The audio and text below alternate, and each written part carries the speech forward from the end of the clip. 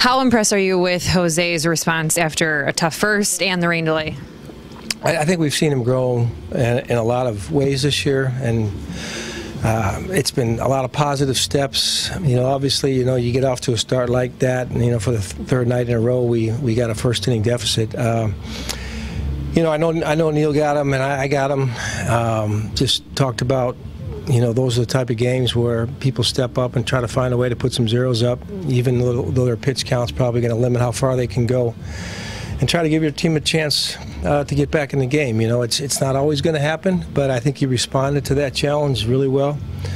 Um, put the first inning behind him, and you know he, he wanted to go back out for the sixth. And I think between the rain delay and just you know the the stress, particularly in the first inning, it was it was time to go ahead and make a change. But I, it was it was really encouraging for him to go out there and find a way to I think you know get the win and, and uh, give our give our club a chance to come back.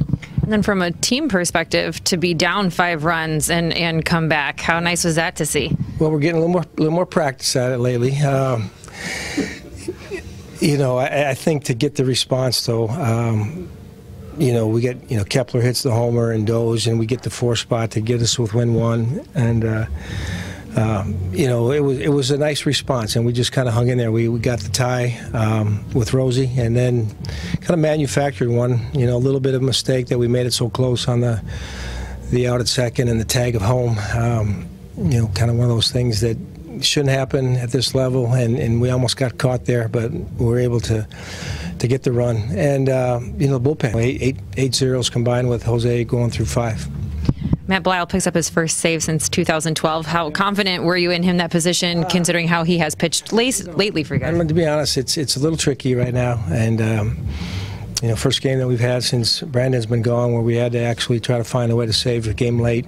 Um, I had I had Matty ready in the eighth if things went a little haywire there, and then once we got uh, excuse me, through the seventh. But once we got through that, you know, and saw where we were, we flipped it. And Taylor had a nice clean outing. And I know he's been searching for that for a while, so that was really good to see. And then Matty did a nice job. No drama.